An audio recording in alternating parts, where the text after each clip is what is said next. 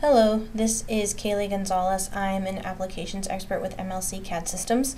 Today's tech tip for you is regarding the SOLIDWORKS inspection add-in and how we can make some quick changes to our balloons. Once we have an inspection project started and we have our initial balloons, I'm going to go into this add edit balloons. We can actually do quite a bit of changes just within the single dialog box.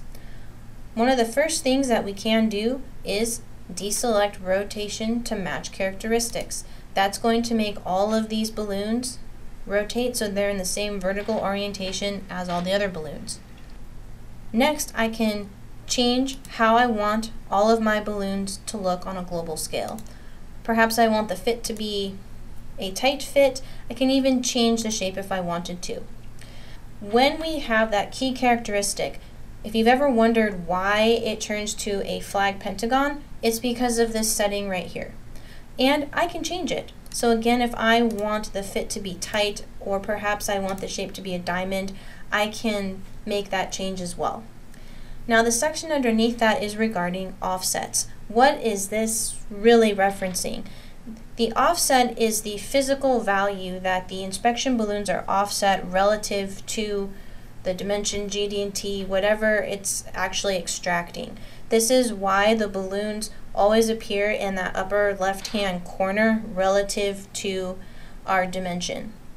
If we wanted to change this, we can change these physical values. I'm changing all of these y values to zero so that the balloons are going to be directly horizontal on the y, or I'm sorry, the x-axis to the actual dimensions. Now once I've made several of these changes, I'm going to click OK to see what these changes make. So in a couple of seconds, we were able to really kind of overhaul the balloons here. This add edit balloons can actually take us a step further in that I can now filter out certain balloons that I simply don't need to see for a specific process. This could be GD&T or notes. Again, if I click OK, notice how those balloons are now no longer on my sheet. This can be a really fast feature when you do have to pare down some of these dimensions.